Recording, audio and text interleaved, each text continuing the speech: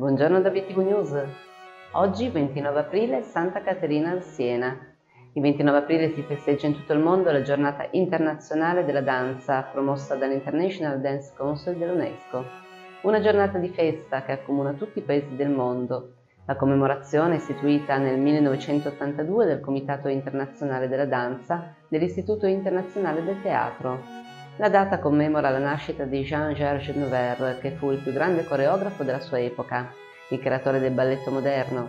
L'intenzione del messaggio della giornata internazionale della danza è celebrare la danza, godere dell'universalità di questa forma d'arte, attraversare tutte le barriere politiche, culturali ed etniche e riunire le persone con un linguaggio comune, la danza appunto.